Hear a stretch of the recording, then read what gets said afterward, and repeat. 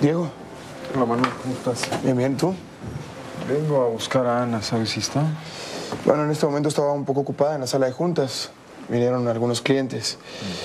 Ya sabes, ahora que no está Berenice en la empresa, pues le están dejando toda la responsabilidad a ella. Ni tiempo tiene para comer la pobre. Pero bueno, ya sabes cómo es esto de los altos ejecutivos. ¿ah? Sí, claro. ¿La buscas para algo urgente? No, en este momento no tengo nada urgente que atender.